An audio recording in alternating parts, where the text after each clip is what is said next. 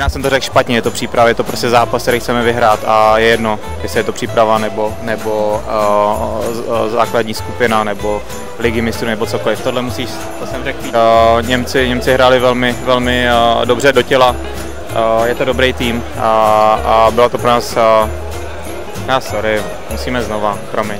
Já...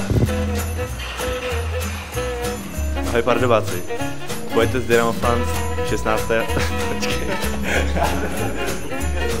no já si nemůžu vzpomenout, tak je to. Ahoj Pojďte Fans na první Ahoj Pardubáci, pojďte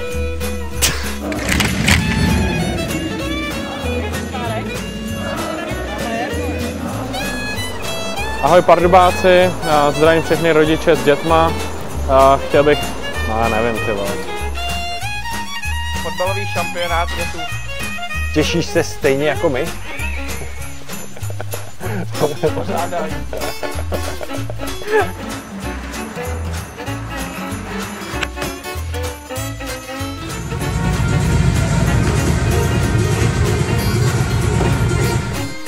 Fotbalový šampionát je tu.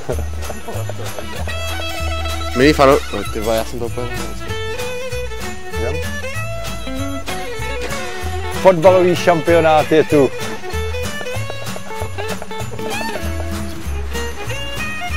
Milí fanoušci, minulém zápase jste nám hodně pomohli. Proto vás zvu na nedělní utkání s Mladou Boleslaví od 16 hodin. Přijďte nás podpořit.